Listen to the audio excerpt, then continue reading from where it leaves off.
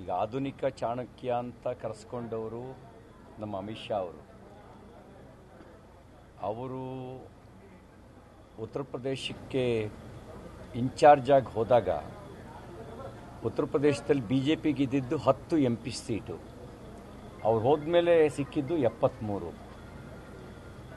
ಅವತ್ತು ಉತ್ತರ ಪ್ರದೇಶದಲ್ಲಿ ಅಧಿಕಾರದಲ್ಲಿ ಇದ್ದ ಪಾರ್ಟಿ ಸಮಾಜವಾದಿ ಪಾರ್ಟಿ. ಈಗ ಉತ್ತರ ಪ್ರದೇಶದಲ್ಲಿ ಅಧಿಕಾರದಲ್ಲಿರೋ ಪಾರ್ಟಿ ಭಾರತೀಯ ಜನತಾ ಪಾರ್ಟಿ.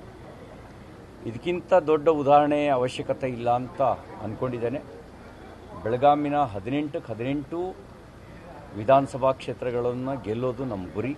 ಅದಕ್ಕೆ ಬೇಕಾದಂಥ ಪೂರಕ ಪ್ರಯತ್ನವನ್ನು ನಾವು ಮಾಡ್ತೇವೆ. ಯಾವುದೇ ಕ್ಷೇತ್ರದಲ್ಲಿ ಯಾವುದೇ ವ್ಯಕ್ತಿಗಳ ಜೊತೆಗೆ ರಾಜಿ ಇಲ್ಲ.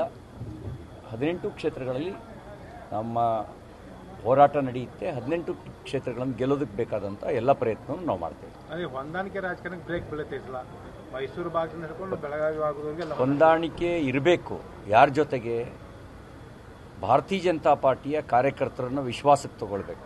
ಪರಿವಾರದ ಸಂಘಟನೆಗಳನ್ನು ವಿಶ್ವಾಸಕ್ಕೆ ತಗೊಳ್ಬೇಕು. ಅವರನ್ನು ಒಟ್ಟಿಗೆ ಸೇರಿಸ್ಕೊಂಡು ಅವರ ಸಮನ್ವಯದ ಜೊತೆಗೆ ವಿಪಕ್ಷಗಳ ಜೊತೆಯಲ್ಲಿ ಹೋರಾಟ ಮಾಡಬೇಕು. ಹೊಂದಾಣಿಕೆ ವಿಪಕ್ಷಗಳ ಜೊತೆಗಲ್ಲ. ವಿಪಕ್ಷಗಳ ಜೊತೆಗೆ ಹೊಂದಾಣಿಕೆ ರಾಜಕಾರಣ ಭಾಳ ಕಾಲ ನಡೆಯೋದಿಲ್ಲ. ಆ ರೀತಿ ಇದನ್ನು ಪಾರ್ಟಿ ಸಹಿಸ್ಕೊಳ್ಳೋದು ಇಲ್ಲ. ಟಾರ್ಗೆಟ್ ಒನ್ ಫೋರ್ಟಿ ರೀಚ್ ಆಗುತ್ತೆ ಒನ್ ಫಿಫ್ಟಿ ಪ್ಲಸ್ ನಮ್ಮ ಟಾರ್ಗೆಟು ನಮ್ಮ ಯೋಜನೆಗಳ ಫಲಾನುಭವಿಗಳು ಕೇಂದ್ರ ಮತ್ತು ರಾಜ್ಯ ಸರ್ಕಾರಗಳ ಯೋಜನೆಗಳ ಫಲಾನುಭವಿಗಳು ಪ್ರತಿ ವಿಧಾನಸಭಾ ಕ್ಷೇತ್ರದಲ್ಲಿ ಎಪ್ಪತ್ತೈದು ಇಂದ ಎಂಬತ್ತು ಪರ್ಸೆಂಟ್ ಜನ ಇದ್ದಾರೆ.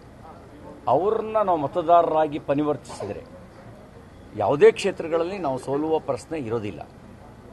ನಾವು ಅವ್ರನ್ನ ಮತದಾರರನ್ನಾಗಿ ಪರಿವರ್ತಿಸೋದ್ರೊಳಗೆ ಎಲ್ಲ ಕಡೆ ಸಫಲ ಆಗದೇ ಇರೋದು ಕಾರಣದಿಂದಾಗಿ ನಮಗೆ ಎಲ್ಲ ಕ್ಷೇತ್ರಗಳನ್ನು ಗೆಲ್ಲಕ್ಕೆ ಸಾಧ್ಯ ಆಗಿಲ್ಲ. ನಾವು ಅವ್ರನ್ನೆಲ್ಲರೂ ವೋಟರಾಗಿ ಕನ್ವರ್ಟ್ ಮಾಡಿದ್ರೆ we can win more than hundred and fifty seats